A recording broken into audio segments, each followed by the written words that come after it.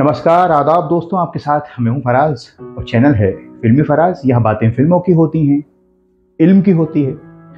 जब हुआ ज़िक्र, ज़माने में मोहब्बत का शकील मुझको अपने दिल नाकाम पे रोना आया। ए मोहब्बत, तेरे अंजाम पे रोना आया।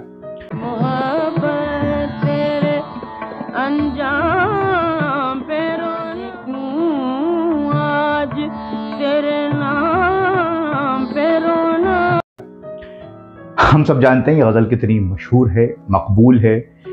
उन गज़लों में शामिल है जिसे पूरी दुनिया में सुना जाता है, महसूस किया जाता है दोस्तों। शकील बदायूनी साहब ने लिखी है, आपको तो मालूम ही है। और इसे मयारी कर दिया सबसे पहले गाया अख्तरी बाई फैज़ाबादी, जिन्हें हम जानते हैं, बेगम अख्तर साहिबा के नाम से। यह गज़ल आपने कई बार सुनी होगी और आज भी सुनते होंगे। बाद में फिर कई लोगों ने इसे गाया। बेगम अख्तर ने गाया, कई लोगों ने गाया और शकील साहब ने लिखी है। बेगम अख्तर, लाजमी सी बात है, फैज़ाबाद में पैदा हुई और फिर 1974 में इस दुनिया से चली गई। वो एक्ट्रेस भी रही, लेकिन मूलतः वो गज़ल सिंगर थी और उन्होंने गज़ल को बुलंदियों पर पहुँचा दिया। ऐसा भी वक्त आया कि शादी के बाद उनके शोहर ने बंद कर दिया था कि आप नहीं गा सकती तो वो बीमार हो गई और पाँच साल बाद फिर से गाया और आखिरी सांस तक गाती रही यहाँ तक कि जब वो इस दुनिया से गई तो भी कॉन्सर्ट ही कर रही थी वो अहमदाबाद में। खैर, अब बात करते हैं शकील साहब की। शकील साहब के बारे में हम जानते हैं। तीन अगस्त 1916 को पैदा हुए बदायूं में, फिर अलीगढ़ में तालीम ली और नौशाद साहब के साथ कैसा सिलसिला रहा, उनका एक से बढ़कर एक फ़िल्में हैं, बेजू बावरा को कौन भूल सकता है, मेरे महबूब, मदर इंडिया और भी रवि साहब के साथ काम किया, दो बदन की गज़लें हेमंत कुमार के साथ सबके साथ। और शकील साहब भी 1970 में चले गए और 1974 में बेगम अख्तर साहिबा इस दुनिया से चली गई दुनिया के रखवाले सुन दर का अफसाना दुनिया को सुना। प्यार किया तो डरना क्या? प्यार किया कोई हुए हम जिनके लिए बर्बाद वो हमको चाहे। गाड़ी वाले गाड़ी धीरे हाँक रे। गाड़ी वाले गई मेरे प्यार की नगरी अब तो नी। दिल में मोहब्बत की आग लगा दे। आज कहेंगे दिल का फसाना भरून की याद में हम गाए जाएँ। तो देख नज़र ना लागे गोरी काहे मुखड़ा खोले। देख नज़र अब इन दोनों का ज़िक्र इसलिए कर रहे हैं क्योंकि ये जो गज़ल है ए मोहब्बत तेरे अंजाम पे रोना आया साहब। इसकी दास्तान बड़ी अलग है। इस तरह से ये गज़ल आई तो शकील साहब उन दिनों नए नए थे बॉम्बे में। जब वो आए थे तो कोशिश कर रहे थे, लिखते थे। पहले तो वो अदबी शायर थे, बाद में फ़िल्मों में उन्होंने गीत लिखे और जो गीत और गज़लें लिखी, वो भी मयारी थी, अदबी थी। इसी वजह से उस दौर के जो गीत रहे, वो बड़े मकबूल हुए। अब सब हुआ यूँ कि बेगम अख्तर एक दिन जा रही थी, बॉम्बे वीटी स्टेशन से ट्रेन पकड़कर लखनऊ। प्रोग्राम था उनका। तो उनके पास ट्रेन जब खड़ी थी स्टेशन पर तो एक साहब पहुँचे, यंग बिल्कुल। शकील साहब, शकील बदायूनी शायर, स्ट्रगल कर रहे थे और ट्रेन जाने ही वाली थी। उन्होंने आदाब अर्ज़ किया, बेगम अख्तर को कि आदाब अर्ज़ है। बेगम साहिबा और ट्रेन चलने ही वाली थी और उन्होंने एक कागज़ दे दिया, उसमें गज़ल लिखी हुई थी मोड़ के और बेगम अख्तर ने उसे रख लिया और ट्रेन चल दी। उन्होंने अपने बटवे में उसे रख लिया और शकील साहब आ गए अपने। बड़ी पुरानी बात है जब शकील साहब काफ़ी यंग थे और बेगम अख्तर अपने उरूज पर थी। उसके बाद बेगम अख्तर चलती रहीं सफ़र में। सुबह जब ट्रेन रुकी तो भोपाल आ चुका था। भोपाल स्टेशन पर चाय वगैरह पी और उन्होंने सोचा, ज़रा भटवे में देखूँ, शकील मियाँ ने क्या दिया? जब उस पर्चे को खोला तो उसमें गज़ल लिखी हुई थी, ए मोहब्बत तेरे अंजाम पे रोना आया। पहली दफ़ा। ये कहीं नहीं आई थी। जब शकील साहब ने दी तो बेगम को वो गज़ल पसंद आई।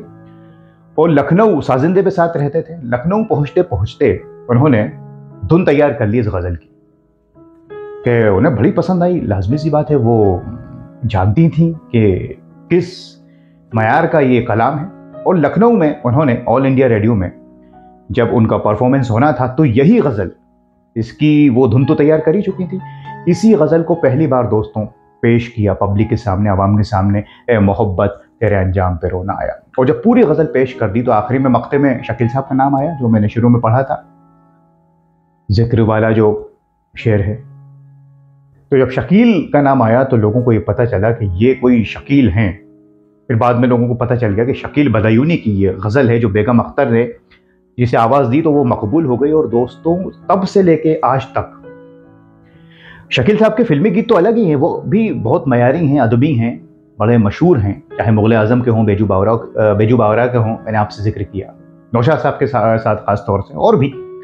लेकिन इस गज़ल ने, और भी गज़लें उनकी, लेकिन इस गज़ल ने जो मुकाम हासिल किया, ये उन गज़लों में शामिल हो गई, जो पाँच छः गज़लें हमारी ज़ुबान पे आ जाती हैं। जी हाँ पाँच छः जो हम सुनते हैं और हर महफिल में जा, जाते हैं और कोई गज़ल सिंगर जितने भी हुए हैं, उनसे हम फरमाइश करते हैं कि ये गज़ल साहब हमें ज़रूर सुना दी उसमें इस गज़ल का शुमार रहता है मोहब्बत तेरे अंजाम पे रोना आया। और भी है मुझसे पहली सी मोहब्बत, मेरे महबूब नमान, तुम अपना रंजो गम और भी। लेकिन ये गज़ल शामिल रहती है। उसमें कई शायरों के कलाम में मिर्ज़ा गालिब साहब के हैं, मीर, तकी मीर के हैं और बाद के फैज़ अहमद फैज़ के हैं। उसमें शकील साहब की यह गज़ल ऐसी शामिल हुई ए मोहब्बत, तेरे अंजाम पे रोना आया। जो आज तक पूरी दुनिया में हम कहीं भी जाएँ, कोई भी गज़ल सिंगर कहीं जाता है तो इस गज़ल के बिना उसकी महफिल दोस्तों मुकम्मल नहीं होती। इसका क्रेडिट जाता है शकील बदायूनी साहब को और बेगम अख्तर जी को। बाद में फिर कई लोगों ने गाया, लेकिन मशहूर ये बेगम अख्तर के नाम ही से है और लाजमी सी बात है, जैसा उन्होंने गाया, शायद, यकीनन शायद क्या कोई नहीं फिर गा पाया इसको। तो ये मैंने आपको किस्सा इसलिए सुनाया कि आमतौर पर शकील साहब की ये गज़ल तो हम सब जानते हैं, लेकिन किस तरह से ये बनी, कैसे ये वजूद में आई, उनके गीतों से हम वाकिफ हैं? का चाँद हो या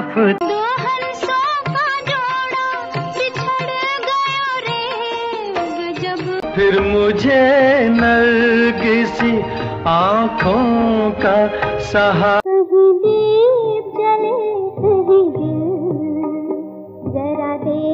भरी दुनिया में आखिर दिल को समझा। अपनी आज़ादी को हम हर गिज मिटा सकते नहीं।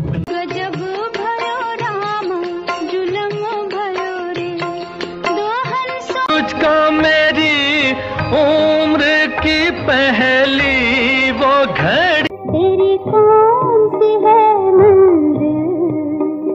कहीं भी मोहब्बत हो गई जिनको वो दीवार। सर कटा सकते हैं लेकिन सर झुका सकते नहीं।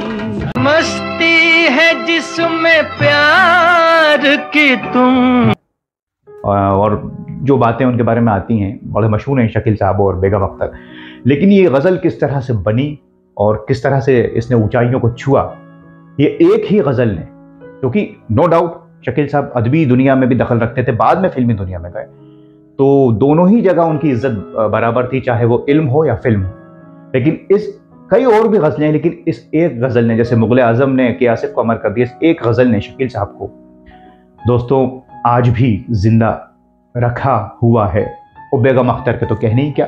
तो ये एक किस्सा आपके लिए लेकर आया था, जिसमें हमने आज याद किया शकील बदायूनी साहब को बेगम अख्तर जी को। अब ये दोनों हमारे बीच में नहीं हैं, लेकिन इनका काम हमारे साथ है, जो हमें बीच बीच में जब हम उदास होते हैं, परेशान होते हैं तो हमें सुकून देता है। यह आज की पेशकश थी। आप हमें कमेंट्स करके बताइए, किस पर आप कार्यक्रम सुनना या देखना पसंद करेंगे। फिर मुलाकात होगी कहाँ, यहीं फिल्मी फराज चैनल पर। अगले कार्यक्रम तक के लिए हमें इजाज़त दीजिए। नमस्कार खुदा हाफिज़।